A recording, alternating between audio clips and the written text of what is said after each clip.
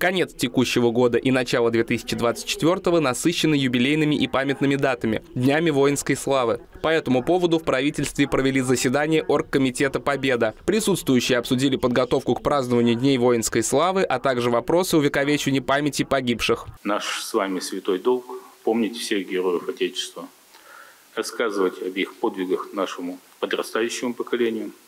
Их имя и подвиг бессмертны и нужны нужны всему народу как пример настоящего, искреннего патриота своей страны, героя нашего времени.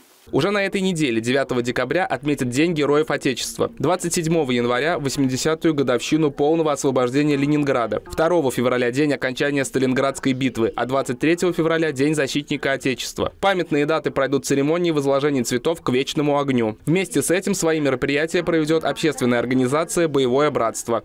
Вот сейчас мы в данный момент, в декабре, это у нас 11 число, на, начало чеченской кампании. Мы сейчас готовимся, да, будем 11 проводить возложение, ну, как бы начало чеченской кампании, поменем ребят, которые погибли.